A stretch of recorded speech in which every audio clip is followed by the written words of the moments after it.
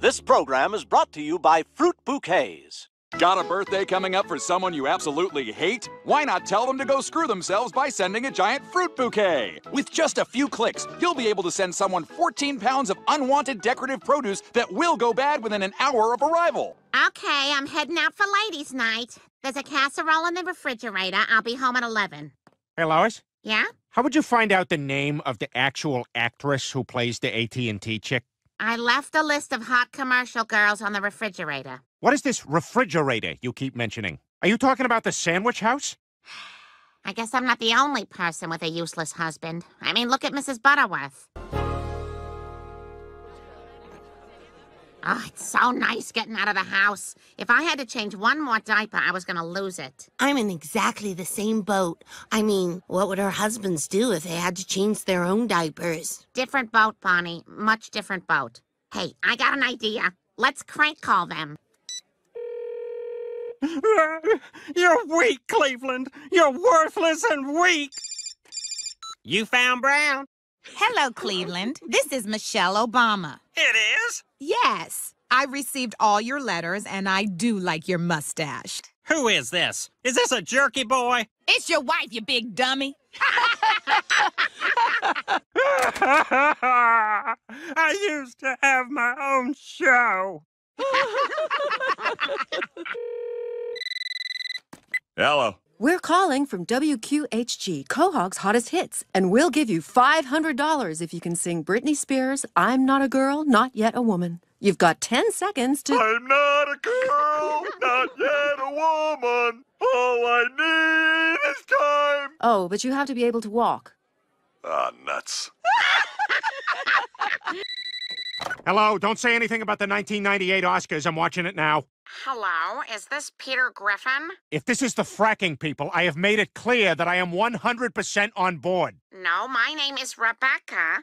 You've never met me before and probably don't even know I exist, but you're my father. Hello? How'd you get this number? Don't you ever call here again. What the hell? He just got mad and hung up. He what? Why? I don't know. He sounded weird. Hey, Peter. So, um, anything interesting happen tonight? Yep, I finally peed that chunk of poo off the side of the bowl. You know the one you've been yelling at me about? Nobody called or anything? Nope. So, hey, uh, are you tipsy enough to let me have lazy Tony Soprano sex?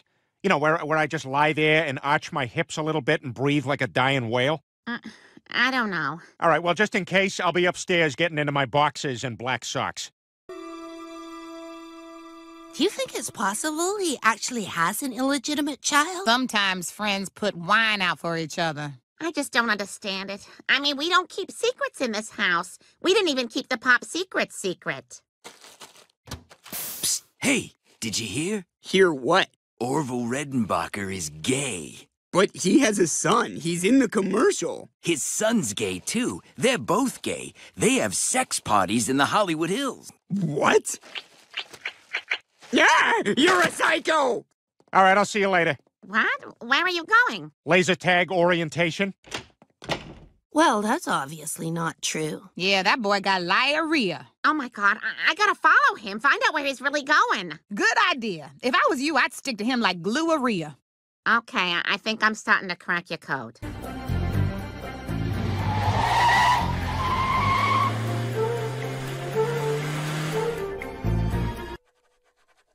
Peter, what are you doing here?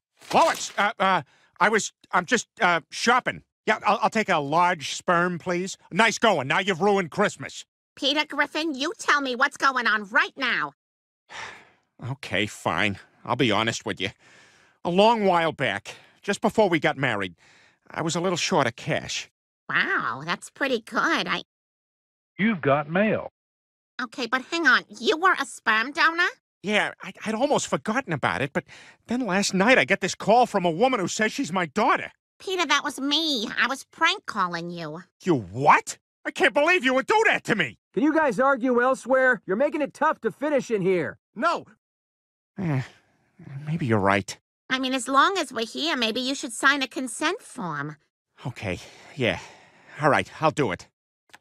You know what? It feels good doing something nice for others. Like when I was a mentor for Kid Rock. Hi, is uh, is Peter Griffin here? Oh my god.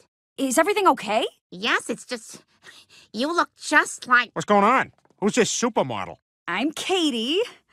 I'm your daughter. You're what? Holy crap! Yeah, I hope you don't mind the drop-in, but the uh, the sperm bank said it was okay to contact you. Wow, I guess I guess I just didn't expect this so soon. Well, we were all pretty excited to meet you. What do you mean we? We're all your children. We came from your semen. Semen.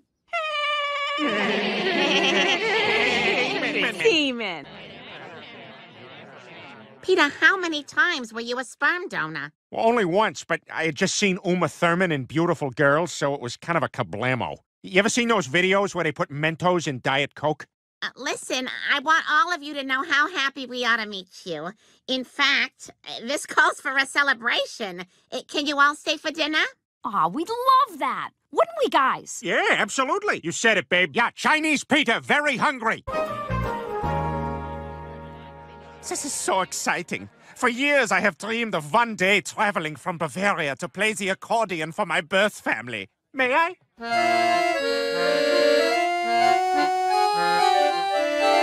I have just one question for you. What are those? Oh, I get that, because this comedy has just made it to Germany. Wow, you look exactly like me. Yes, I'm not actually part of sperm donation thing. I'm your secret clone. We have been orphan blacked, and you soon will be dead.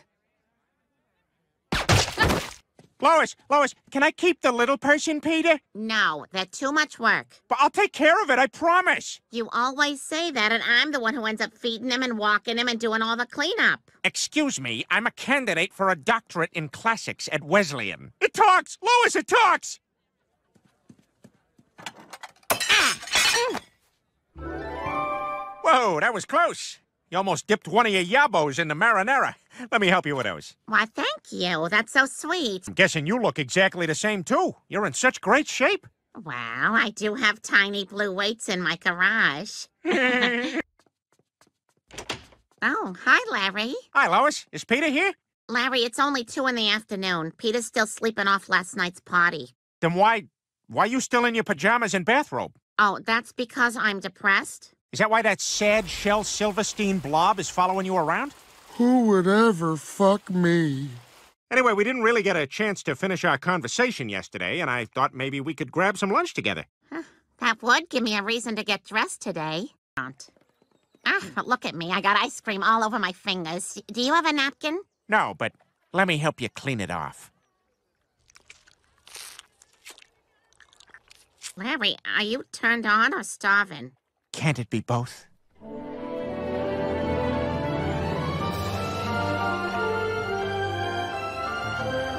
Mm.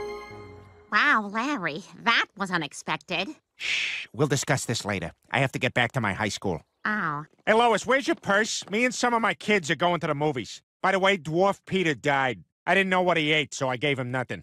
His name was Tyler. He had a name. Everything you say, you say with pride. I like that about you. Anyway, where's Larry? Maybe he wants to go to the movie. Larry? Why would I know where Larry is? It? Who is Larry? Well, never mind. All right, everybody bring your phone so we can text each other during the movie. Almost there. Almost there.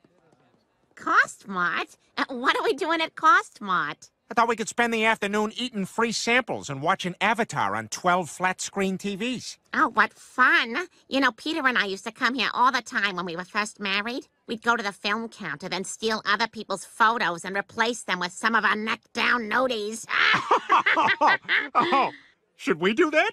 Larry. Yes. Okay, but let's keep this friendly.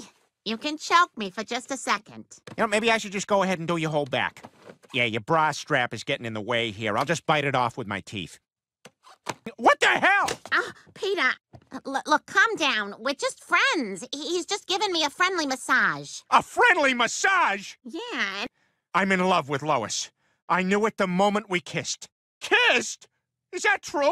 Yes, Peter, but I. You son of a bitch!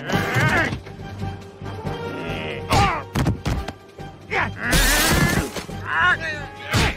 Everybody says we don't need a homeowners association. That's stupid, Quagmire. Well, this is why a homeowners association.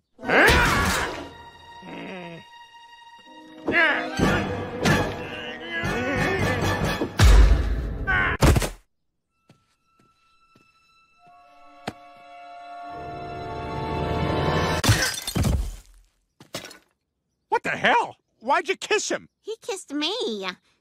And I should have told you. I'm sorry if I hurt you, Peter. I, guess Larry just reminded me of a younger version of you, and the truth is, I liked that he was paying me a little attention. The way you used to. Maybe I have been taking you for granted. But I promise I'll make it up to you. I'll be the best husband ever. You already are. For God's sakes, when push came to shove, you stood toe to toe with a much younger man and fought for me. Oh, hey, by the way, uh, thanks all my kids for stepping in to help. Really, really appreciate I love you. From that day forward, Peter and Lois never again. Oh, nope, sorry. There's still another scene left. Well, Peter, turns out your initial instinct was right. You never should have let any of your children contact you. You said it. From now on, I'm making sure my sperm stays right where it belongs in the bathroom sink.